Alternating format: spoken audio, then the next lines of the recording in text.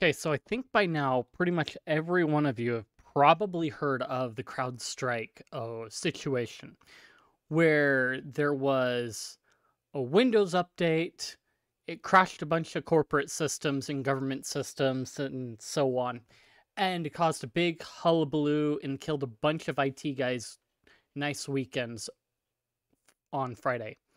So basically, CrowdStrike kind of focuses on security for many systems. It was actually a company I was recommended to look at for work to kind of get my foot in the door after I finished up with school. So I've kind of held off after like and like seeing that they've got some diversity hire things going on. It's like uh maybe not in my best interest, but so yeah. Um CrowdStrike stopped stopped Windows over the weekend, so no business. Hospitals were down, even emergency service number lines were down. So basically, it came down to pushing out an update for one of their systems that basically caused an error in boot because the way that the CloudStrike software that CrowdStrike uses for everything works is they've basically got this driver in there that will boot up and so at a reboot, it resets the driver for crowd for Cloud Strike and then boots it up. Well, when your driver's broken, you can't quite do it that well and it just kind of goes to show if you've got the right stuff, you can end up putting in malicious code into your anti- your security system built on your system and cause a bunch of trouble for systems across the board. So um, Brave notes, like by its lovely AI generated summary.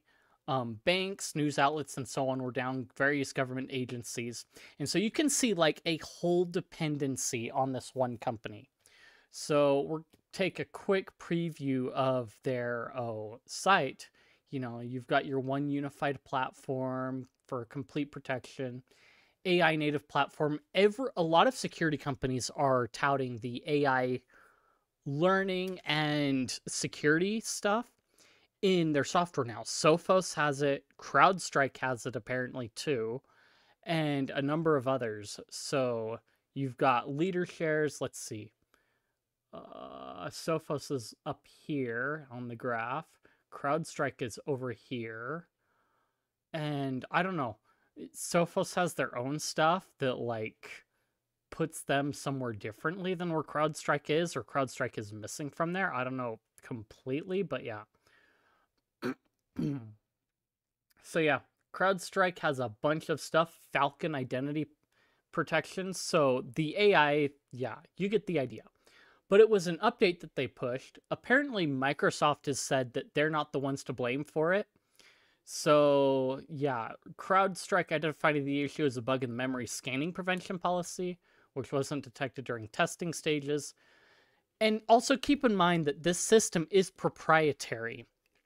So when you're testing stuff out, you are limiting your test your testing group to a much smaller group in this case.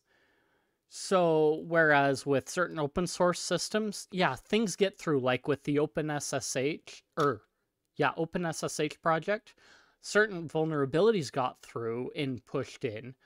But the in this but there's a wider audience developer and testing group that you can take advantage of that is able to see these things notice these things and then go through and troubleshoot these things to see what's the solution or what part of the code is working not working in it. And people have analyzed this particular one. So fix was basically deleting um, this sys file and rebooting the system or rebooting like 15 times to hope that you get the right condition to where it works itself out.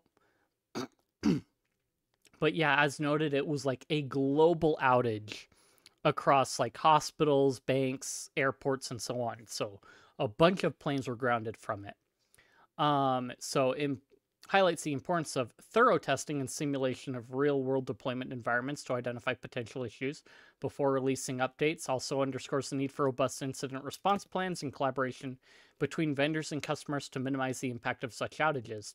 So, a lot of these industries have a lot of people that aren't very IT technical, and the IT teams are oftentimes either outsourced or very small. So, you kind of run into this. Like, one point of this is correct for sure is that thorough testing and simulation of real world environments really helps. So like are you making sure that like your systems will boot?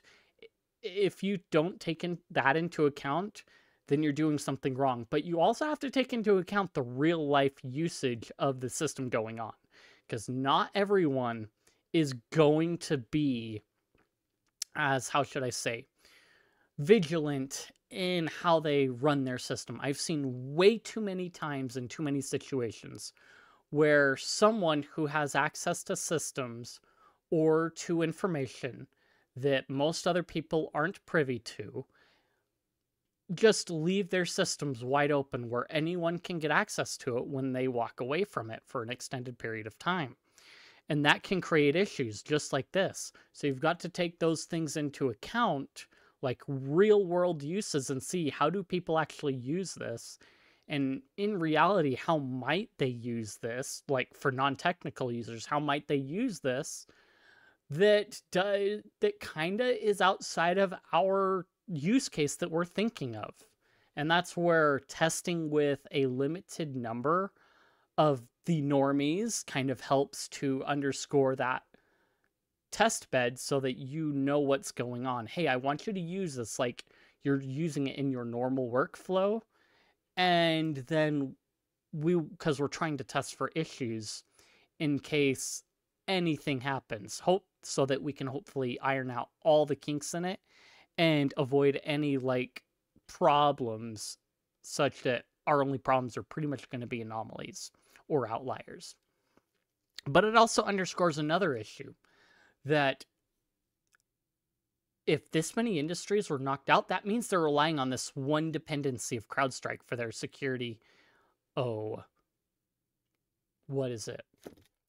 For their security, cybersecurity checkbox. So when you look at the num, like they estimate a total of 20% of computers basically went down from this. And again, they're going to be pretty much corporate and government and so on, like airport, bank, financial systems that are going to come break down from this, but it's that one hinge point that makes the difference. So it this also tells you what companies and what parts of industries could be vulnerable if they find an exploit in CloudStrike's software. Because what ends up happening is if an attacker finds a zero day for cl- CrowdStrike's software, then all of a sudden you've got governments, airlines, banks that are all vulnerable because of that vulnerability. And all of these companies rely on it to check off that box of, yes, I am secure. Whereas if you had a diversity of it and more, well, if you had more diversity in the companies that you're going to or the vendors you're going to for your security. Or if you're using your more local guys for your security implementations, possibly, then you all create a, how should I say, a diversity in implementations and vulnerabilities. Yes, there some may be more vulnerable than others, but you're not going to have such a wide, juicy target that now attackers can look at because they know how many industries are using it and what kind of industries on top of it. So my big issue with this whole CrowdStrike thing is the fact that now you've painted a juicy target on CrowdStrike as an attack vector for other people. Because just like Google or Apple, if I were to hack into some, if I know that a bunch of celebrities have their nudes on their iCloud, all of a sudden that becomes a juicy target because now I can make millions off of that. Just like how if I know that everybody relies on this one piece of software, this one company for their security software, then all of a sudden that becomes a juicy target that I can attack. And that becomes a risk all in and of itself. If everybody's using that one thing, it becomes more worth it for an attacker to persistently attack that one thing to try and find a way in because everyone's using it, just like Google and Apple. So, like, what, or like, for example, when Google, unbeknownst to everyone, started syncing up passwords and other information with without user consent to their cloud so that you can sync your information across devices uh, by default making it having it opt out then you automatically have all this information on people and that creates a vector that attackers will want to attack to get that information because now you've got all that information stored up on a singular Google account that can then be leaked out to the world. So attackers are more likely to try to persistently attack that and find vulnerabilities because it's a juicier target than the small guy that has hardly anything that has some pretty decent security. It becomes more worth it that time investment. Which is kind of where you need to risk assess even the security software that you're using. What what's the customer base that we're dealing with? What is what is their rate of vulnerability? What how many vulnerabilities have they had? How many attacks and so on so that i can know one do i want to put my most precious data in here? And then is it worth the risk however high or low that is of having that taken in case that gets breached or something in what? If something happens to happen. If a happening happens you know. So you kind of like go and this is like the carver technique like s2 underground very very good resource if you want to like learn different risk assessment and things like that. Or even certain privacy things when it comes to radio and picking up on things that way, or for your daily news updates that takes like two or three minutes. So you would kind of rank that based on it. Like, how critical is this information? How accessible do we want it? Like, can we recuperate from it? You're kind of gauging these things on it. And what's the vul like what would more pertain to like this CrowdStrike situation is the vulnerability of it. So if I've got one guy that pushes an update and it breaks everything, then that becomes an issue. Just think back to the NPM, the Node.js library a while ago when Russia first started into Ukraine. Every, a bunch of people lost data because of it, because they were coming from Russian IPs, because all of a sudden you're having your data snookered out because some dude added it as a dependency. One singular developer added it as a dependency. Going back to that idea of being thankless and unnoticed, but everybody's relying it on on it up here. So now you're killing like a whole bunch of systems because of some dude's political motives.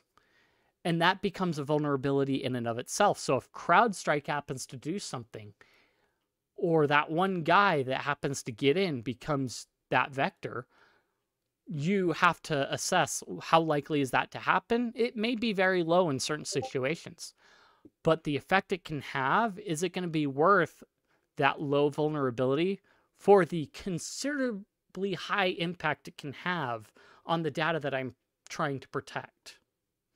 So it comes down to this risk assessment that you need people in and a lot of salespeople are going to be like, well, here's our thing, here's whatever. And they're going to use all these different sales gimmicks to try and sell you a package that, in a lot of ways, may be less effective. Like any VPN that any VPN sponsor that you look at, when you look at the, uh, their number of trackers, how much have they been subpoenaed or had different governments ask them for data? How often have they been able to provide that data or have they had to tell them to go blow? Are they being forced to log data on customers? And what kind of breaches have they had in their systems and have they been transparent about it? You kind of have all these different things that you have to look at. And so you get Joe Schmo YouTuber that promotes this VPN service and doesn't take these things into account, it's like, well, money's money. And so all of a sudden, a VPN service is getting money off of like Joe Schmoes that don't know anything about dealing with VPNs and actually having the privacy that they're being sold that may be less private than they're thinking it is. They're just getting a service that lets them watch Netflix in other countries at that point without any of the added benefit of a VPN. So, again, CrowdStrike is a big learning tool.